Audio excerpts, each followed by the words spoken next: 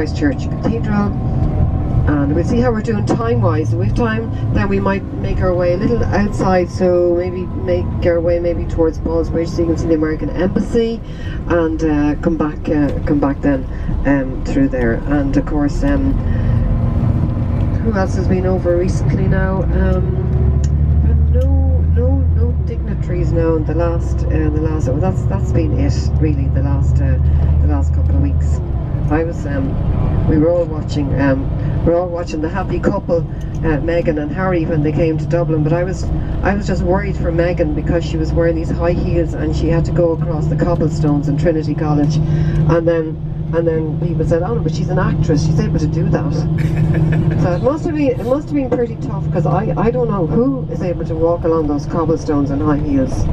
But anyway, she was well able to do it.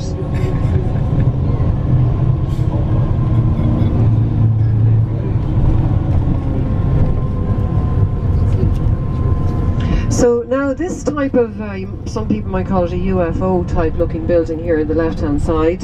Um, this is the latest, uh, the newest our courts of justice and uh, criminal courts of justice here now and um, we have another one further up the quays but this one has been opened in the last seven or eight, oh no, ten years I'd say it, it was opened.